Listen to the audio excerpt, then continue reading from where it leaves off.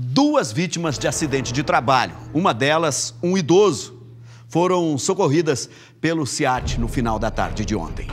As vítimas caíram de um andaime nas chácaras Pôr do Sol no distrito da Varta. Pai e filho despencaram de uma altura de 4 metros. Os dois faziam manutenção nos dutos de ar do prédio quando o acidente aconteceu.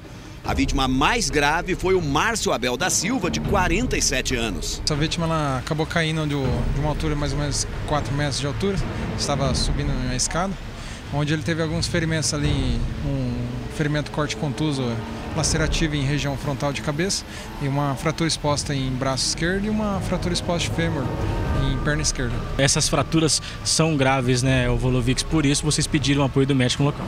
Isso, principalmente a fratura de fêmur, onde ela estava exposta e pegou ali um vaso calibroso, onde ele teve é, grande perca de sangue. Agora, ele comentou o que ele estaria fazendo nessa escada, Volovix, ou não? Segundo ele estava fazendo manutenção diária ali da, do, do imóvel, quando acabou caindo dessa escada.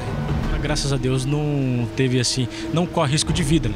Isso é, tá, é, foi é, chamado apoio médico no local, estabilizou a vítima, é, fez a reposição de volume endovenoso, trouxe para o hospital aí agora provavelmente tratamento cirúrgico. O pai de Márcio, Nelson da Silva Pinto, de 74 anos de idade, também foi atendido pelo CIAT, mas com ferimentos que inspiram menos cuidados.